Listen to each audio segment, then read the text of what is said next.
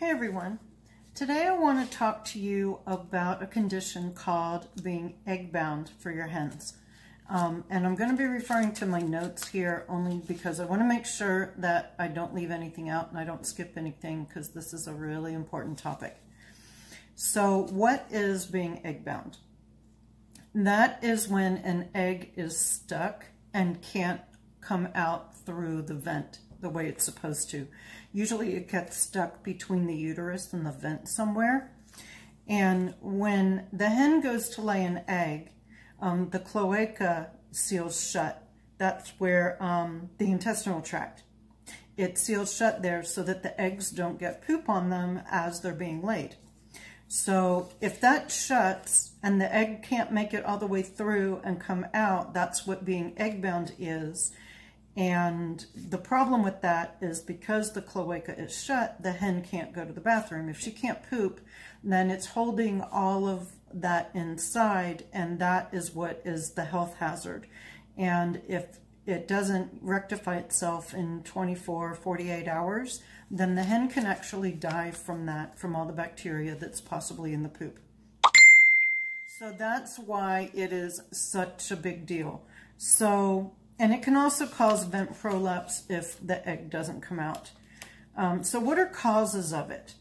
The basic causes are malnutrition, um, severe internal parasites, if they have a large egg or an, an odd-shaped egg that is not typical for the way they lay, and um, or it could just be a malfunction of the reproductive system. Every once in a while, the reproductive system has a problem.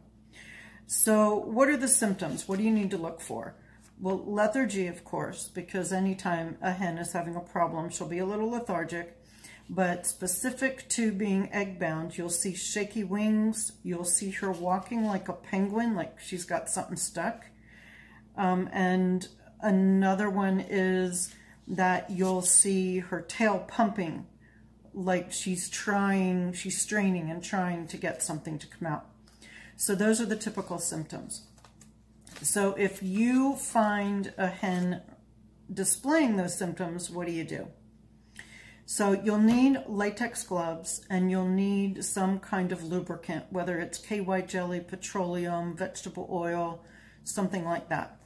And what you're going to need to do is put the glove on, lube your finger up, and put it through the vent and go straight back about two inches, which would be about this middle joint on your finger. If she's egg bound, you're going to feel the egg. And if she, if you don't feel an egg in there, then it, there's something else going on. She's not egg bound. Um, so that's how you figure out um, for sure if a hen is egg bound or not. Now, if she is, what do you do about it? Well, you have to be really careful because you don't want to break the egg inside her. That causes a whole other set of problems. So the first thing you do is set up a warm Epsom salt bath. You need it to be three or four inches deep so that she, when she sits down, it covers her abdomen area. Between the heat and the Epsom salt, it the idea is to get everything relaxed. Maybe that will help the egg come out. You want her to sit in that bath for 15 to 20 minutes.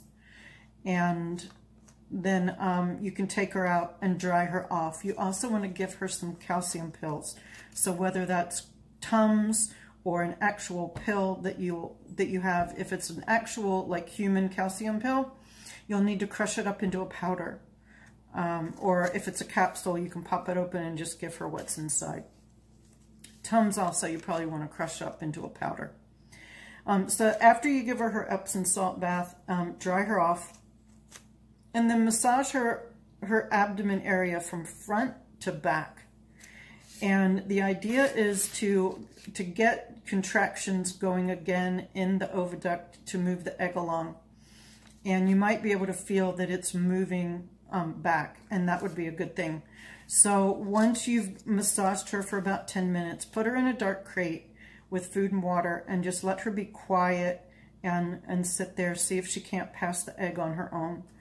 Um, and you can repeat it several times, three or four times across the next several hours, about two, three hours.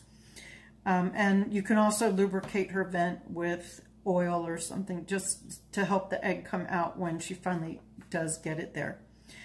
So if that doesn't work, my recommendation at that point would be to seek a vet, even though vets are expensive. And that's because if the egg breaks inside, you'll you would need to remove all the little pieces of shell because the shell can can cause infection internally and if the egg breaks inside she'll definitely need antibiotics and you need a vet to be able to get those.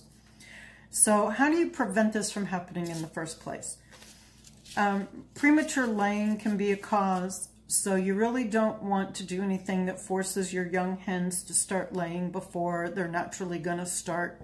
Um, they know when it's time to start, just let them start on their own. Um, another prevention is make sure that they get a balanced diet, and that would include not being overweight.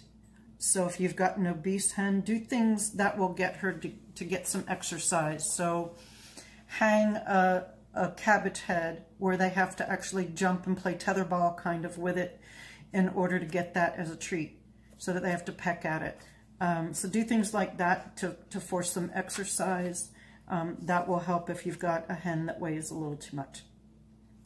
Um, Make sure that you've got enough nest boxes for the size of your flock. You need one nest box for every three or four hens because sometimes if you don't have enough nest boxes and she really wants to lay in the box, she won't go somewhere else if the box is busy. She won't go lay in another part of the yard or somewhere else in the coop or something like that. And she'll hold that egg in. That's not good for her either. And um, the last thing on here is check for worms because sometimes worms can cause um, egg-bound situations. So definitely, um, if, if you find out she is egg-bound, just check and make sure she doesn't have any worms as well. So that's my tip for you today. I really wanted to just talk about this because it is a super serious situation and I want to make sure you know how to check for it and you know what to do about it if you find it. So that's what I've got for you today, and I hope that was valuable for you, and I'll catch you on the next one.